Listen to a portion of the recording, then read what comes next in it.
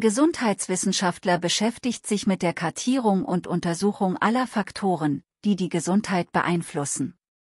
Darüber hinaus betrachtet ein Gesundheitswissenschaftler das Gesundheitswesen aus verschiedenen Blickwinkeln. Die gesamte Breite des Gesundheitswesens ist betroffen.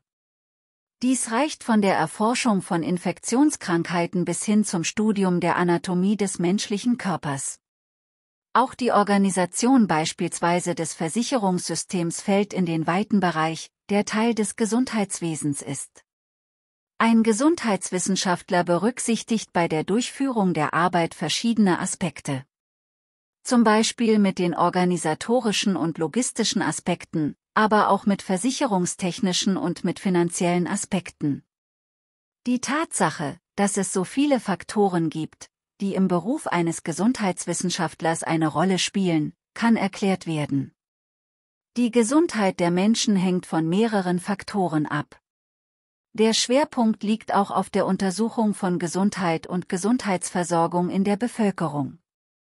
Darüber hinaus spielt auch die Interaktion mit der Umwelt eine Rolle in der Forschung, aber auch die Interaktion in anderen Bereichen.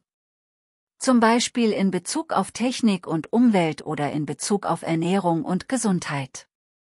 Im Kontext der Umwelt kann ein Gesundheitswissenschaftler unter anderem Quellen wie Verschmutzung erforschen, die für die Gesundheit der Bevölkerung schädlich sind.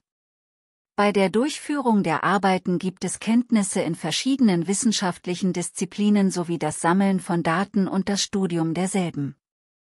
Dies gilt auch für die Erstellung von Berichten und die Darstellung von Maßnahmen.